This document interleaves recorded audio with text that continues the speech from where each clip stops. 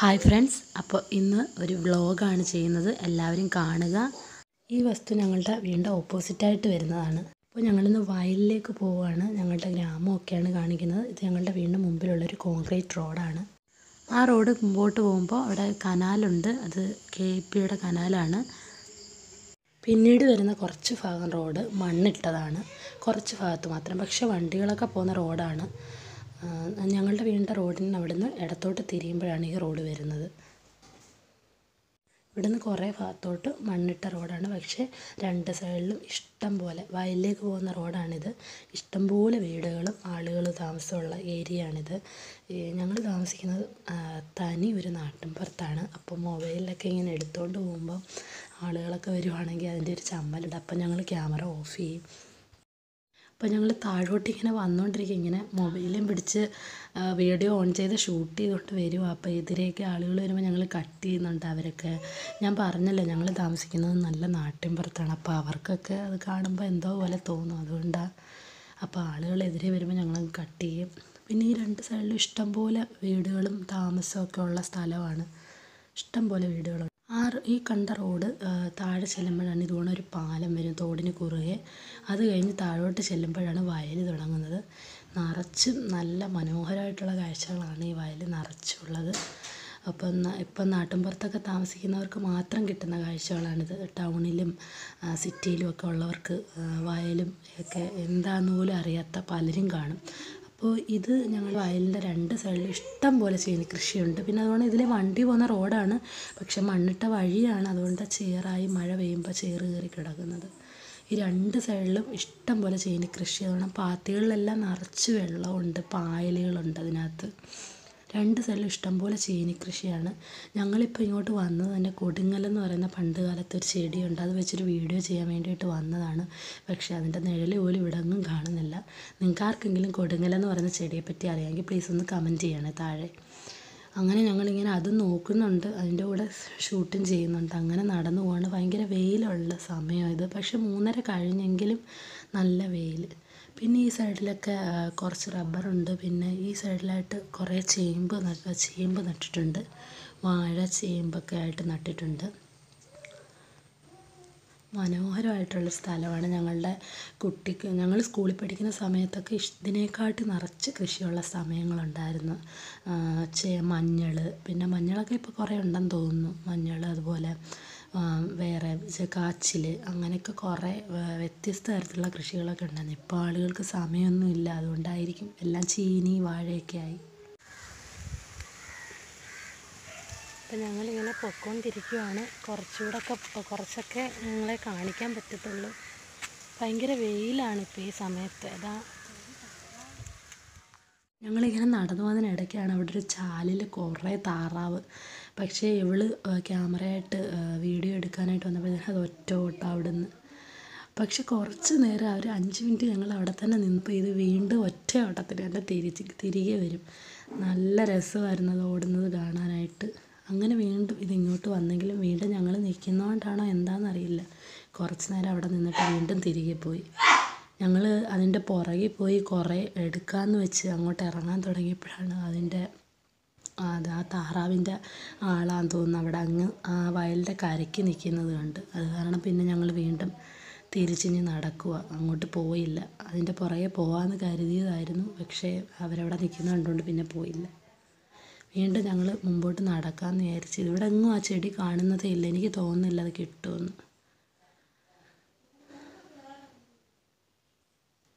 ഇവിടെയൊക്കെ വീണ്ടും ചീനി ചെറുതായിട്ടൊക്കെ നട്ട് പൊട്ടി വരുന്നതേ ഉള്ളൂ ചീനി. തൈയാണ്. പിന്നെ അതുവേണം ആ സൈഡിലും കുറേ ചീനി വാഴ പിന്നെ തെങ്ങുകളുണ്ട്. പിന്നെ ഇവിടെ അങ്ങോട്ട് നടക്കാനായിട്ട് റോഡ് ഇല്ല. ചെറിയൊരു വഴി മാത്രമേ ഉള്ളൂ. ഇത് ആ കവുങ്ങെന്നൊക്കെ അടയ്ക്കാമരം എന്ന് പറയുന്നത് ഇടയ്ക്കൊക്കെ നിൽപ്പുണ്ട് പിന്നെ ഇവിടെ ഒരു ചാലാണ്. പിന്നെ കുറേ മഞ്ഞൾ നട്ടിട്ടുണ്ട്. കുറേ മഞ്ഞളിന്റെ കൃഷിയുണ്ട് ആ ഭാഗത്തായിട്ട്. മഞ്ഞൾ നമ്മുടെ വീട്ടിൽ മഞ്ഞൾ പൊടിക്കുന്ന പൊടിച്ച് ഉപയോഗിക്കാൻ വേണ്ടിയിട്ട് കൃഷി ചെയ്യുന്ന മഞ്ഞൾ. പിന്നെ ചേന നട്ടിട്ടുണ്ട്. അങ്ങനെ ഞങ്ങൾ ഇതിനിടയ്ക്ക് ഇതും നോക്കുന്നുണ്ട് പക്ഷേ ഇവിടെ ഒന്നും ഇല്ല. എനിക്ക് തോന്നുന്നു ആ ചെടി നശിച്ചു പോയെന്ന് പണ്ടൊക്കെ എവിടെ നോക്കിയാലും അതുണ്ടായിരുന്നു. അത്ര അത്രയ്ക്ക് ഔഷധ ഗുണമുള്ളൊരു സാധനമായിരുന്നു ഈ കൊടുങ്ങൽ അപ്പോൾ ഞങ്ങൾ നടന്ന് നടന്ന് ഈ വയലിന്റെ പ്രധാനപ്പെട്ട ഒരു തോടിന്റെ അവിടത്തേക്ക് പോവുകയാണ് അപ്പോൾ ഈ വയലിന്റെ കരയ്ക്ക് ഈ തോടിന് കരയ്ക്കായിട്ട് കാണുന്ന ഭാഗമാണ് ഞങ്ങളുടെ ഇവിടുത്തെ മനോഹരമായിട്ടുള്ള നെൽപ്പാടം.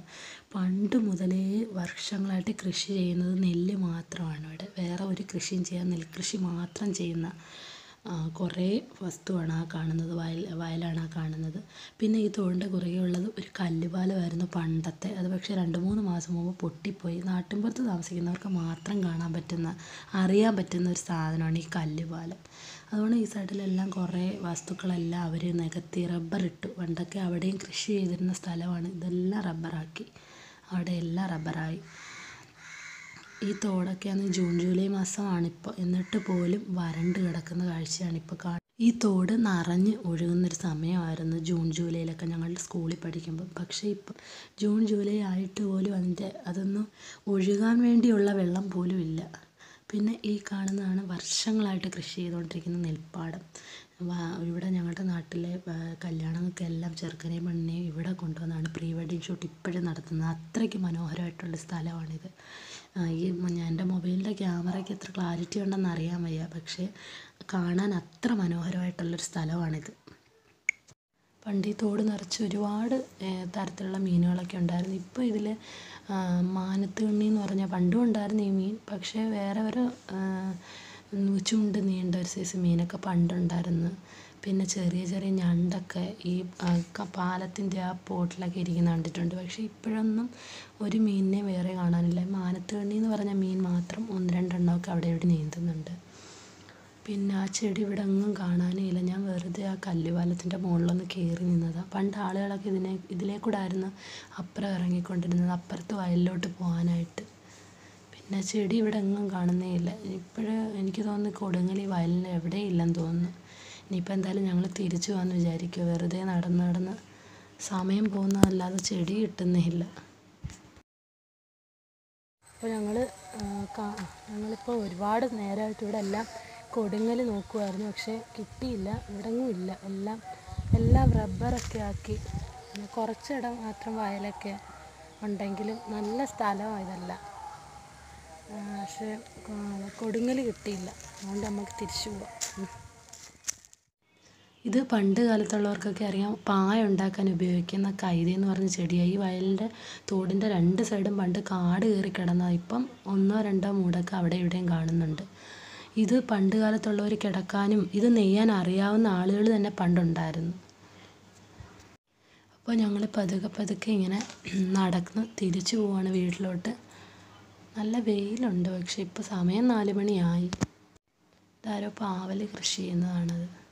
പിന്നെ ഞങ്ങളിങ്ങനെ നടന്നു പോകുന്നതിന്റെ ഈ സൈഡിലായിട്ട് കുറേ വാഴയും ചീനിയും ആ സൈഡ് കൃഷിയുണ്ട്. പിന്നെ ഈ തോടിന്റെ അങ്ങേ കരയ്ക്ക് വീടുകളുമുണ്ട് ഇപ്പോൾ കൂടുതലും ആളുകൾക്ക് സമയമില്ലാത്തതുകൊണ്ട് വാഴയും ചീനിയാണ് വയൽ മൊത്തം തോന്നുന്നു പിന്നെ ഇത് ഈ തോടിന്റെ സൈഡിലുള്ളൊരു വലിയ കാവാണ്. പണ്ട് കാലത്ത് വിളക്ക് കത്തിപ്പും ഒക്കെ ഉള്ളൊരു കാവായിരുന്നു. ഇത് അപ്പുറത്തെ സൈഡിൽ കൂടെ വന്നാൽ ഇത് അകത്ത് കയറാം കാവിനകത്ത്. അതിൽ നിന്നുള്ളൊരു മരത്തിന്റെ കഷ്ണമാണ് ഒരു മരത്തിന്റെ തടിയാണ് ഈ തോട്ടിലേക്ക് ഇങ്ങനെ കിടക്കുന്നത്. ഇത് മുട്ടി വെള്ളം ഒഴുകുന്നൊരു സമയം ഉണ്ടായിരുന്നു പിള്ളേരൊക്കെ അതിൽ കയറി ഇരുന്ന് കളിക്കുന്നതൊക്കെ പണ്ട് എനിക്ക് ഓർമ്മയുണ്ട്. പിന്നെ ഈ സൈഡിൽ മൊത്തം ചീനി. പിന്നെ ആ കാവിന്റെ അപ്പുറത്തോട്ടൊക്കെ വീടുകളാണ് അവിടെ എല്ലാം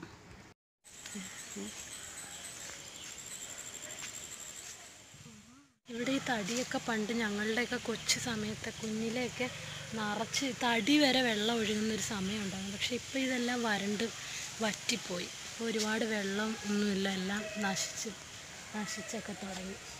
ഈ തടി വരെ വെള്ളം മുങ്ങി ഒഴുകുന്നൊരു സമയം ഉണ്ടായിരുന്നു മഴക്കാലത്തൊക്കെ. ഇപ്പം മഴക്കാലമായിട്ട് കൂടി ഇപ്പം ഒന്നുമില്ല വെള്ളമല്ല ഒന്നുമില്ല എല്ലാം കുറവായി. അപ്പം ഞങ്ങൾ തിരിച്ചു പോവാണ്. നടന്നപ്പോഴത്തേനും വൈകി കുഴഞ്ഞ്. ഒരുപാട് കുറേ നാളിന് ശേഷം ഞങ്ങൾ ഇങ്ങോട്ടൊക്കെ വരുന്നത്. പണ്ട് ഇതൊക്കെ സ്ഥിരം ഞങ്ങളുടെ വഴിയായിരുന്നു.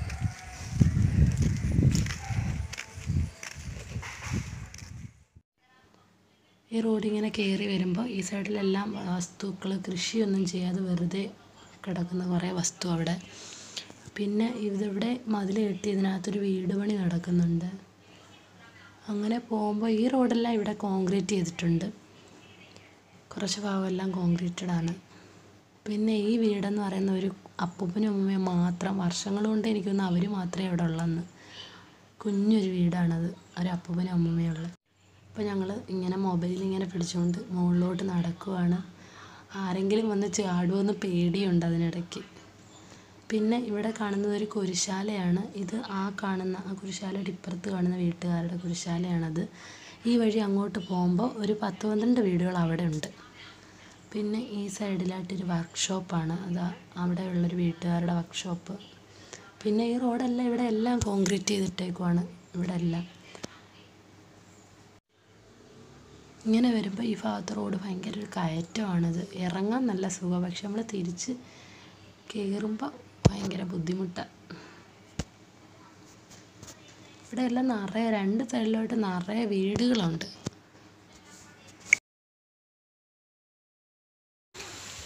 ഞങ്ങളിങ്ങനെ പോ നടന്ന് പോവുക ഇവിടെ വന്നപ്പോഴത്തേന് കുഴഞ്ഞു.